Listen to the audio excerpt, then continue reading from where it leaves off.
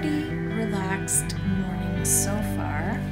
I um, I did a bit of housework, but for the most part, I've been lazing around. It feels really good because the last couple of days I've been running around a little bit like a headless chicken, uh, something I always do at the beginning of my holidays because I always have so many plans of what I want to do and what I want to get accomplished. And uh, then, you know, then eventually I, I, I truly crash.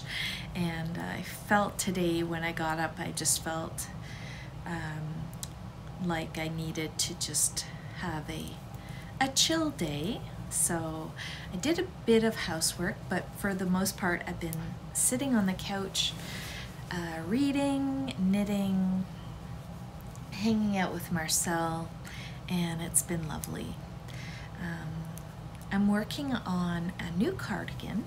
It is called the Ruta cardigan and it's by new to me designers. It's a, a, a duo, uh, two sisters, uh, the Weststrand sisters, and I really love their designs. They're very uh, classic and they always have like a fun retro or vintagey vibe to them, but uh, still they still feel really modern and they are very very wearable everyday pieces so um, the Ruta cardigan features a lovely all over textural pattern. It's quite difficult I think probably for you to see it on camera because of the dark blue but it's um, it's just rows of stockinette and then some garter and there are these uh, little um, little cables that uh, you're not going to be able to see but sort of at regular intervals there are crossed stitches that create a, a mini cable and I'm completely in love with the yarn I'm using. This is new to me yarn. It's La Bien-Aimé's Corrie Worsted. Definitely a, a luxury uh, yarn, um, but it's so beautiful. I bought it at, La, um, at um, Espace Tricot. The Corrie Worsted blend is, uh, as you could imagine, they it's a Corriedale and Gotland mix. I think it's 75 Corriedale, 25 Gotland. And it's called worsted because it's worsted spun. I, um, I mean, the projects that this yarn calls for range from kind of worsted weight to DK. However, I really struggled. I did a lot of, um, I, I tried out a bunch of different uh, patterns, swatched for a bunch of different things in those in those ranges, and I, I could never get a fabric that I liked. It was always way too loose. So in the end, I believe the pattern I'm knitting is is actually a sport weight gauge, but I really love the fabric I'm getting.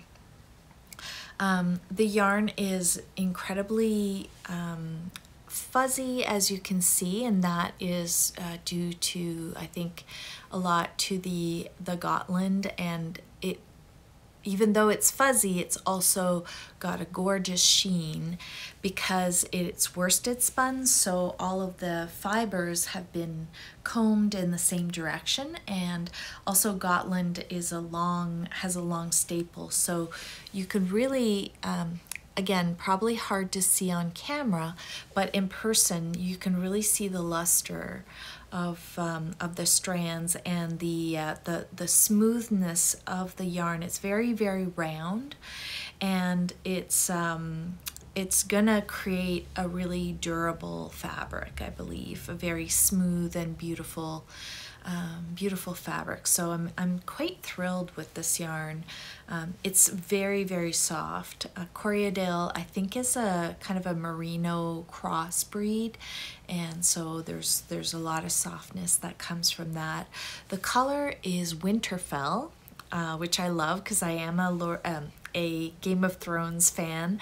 And uh, yesterday, when I was talking about how I would, uh, in the Lord of the Rings world, I would live in Hobbiton and I would be a hobbit. Well, if I was in uh, Game of Thrones world, I probably would live, uh, want to live uh, in Winterfell because I love the winter, and even though the Starks are a little um, moody and stubborn, um, I think aesthetically they probably would be uh, the ones I feel the closest to.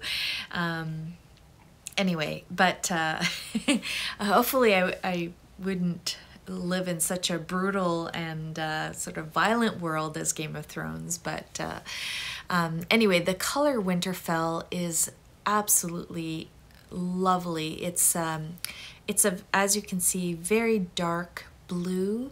What may not be coming across on screen is that it is um, it's definitely I guess a navy and it does have a lot of black, but it also has some green in it so it, it veers ever so slightly into a teal territory but dark, dark, dark, like very, very moody. And uh, I absolutely am pretty obsessed with this yarn.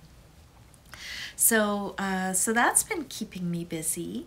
And uh, the other thing I have been doing is I've been looking through my new book. A lot of you guessed correctly. I got a book at the quilting shop yesterday. It's Yoko Saito's Handheld Patchwork Treasures. And uh, Yoko Sato is a Japanese designer, quilt quilt designer, and uh, she does all types of uh, different books, uh, different types of projects, uh, from from large quilt patterns to these very small and sweet um, projects and um, as I was mentioning yesterday, uh, Sarah from the Fiber Trek podcast is uh, is an amazing maker, and she's the one who uh, turned me on to uh, Yoko Saito's work. She's actually working on the most beautiful little um, I think it's a needle caddy or like a tool caddy with um, with applique mushrooms on it and it's absolutely absolutely stunning. Um, this book is a lot of little pouches and bags uh, as the cover shows. This is really the pattern that got to me. I love small geometric um, repetitive patterns like this. Um, triangles, I love small hexagons, I love small uh, squares. I would really love to make, uh, I think they call them post uh, uh, stamp quilts, something like that, but basically teeny tiny little squares that are all put together in different fabrics.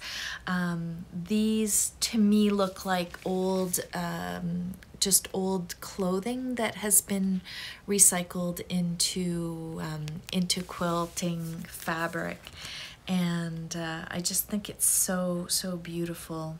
She does um, utilize a lot of applique in her work so this lovely um, pouch, a mini pouch that looks like uh, Pussy Willows to me. Um, very, very pretty. Um, a lot of really fun patterns like this cute bird. Um, lot lots of um, botanical details. So you've got the hexes here, but uh, with a little flowered applique design. Anyway, I am absolutely in love with with this book.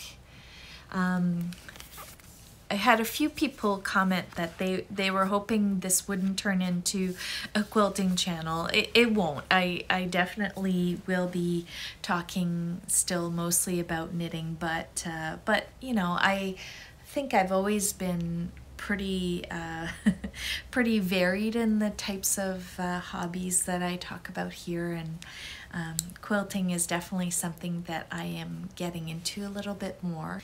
doing better remembering these now. We're on number number eight. Crinkled. The color today is very appropriately titled. The name of the color is terracotta, and it's a lovely, very soft, uh, sort of peachy brick.